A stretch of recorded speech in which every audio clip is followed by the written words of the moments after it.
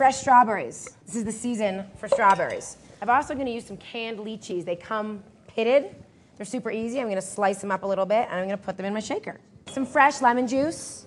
None of that plastic lemon juice, lemon.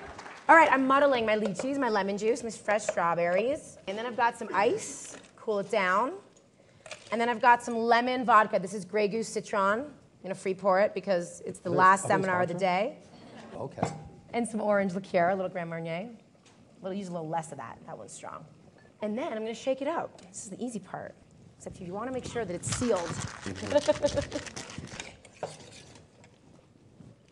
Strain it. See how beautiful that is? That's from the fresh strawberries. Yeah.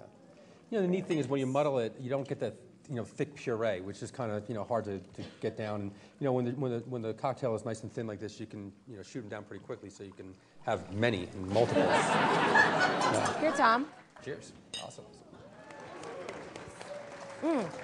I took your slice.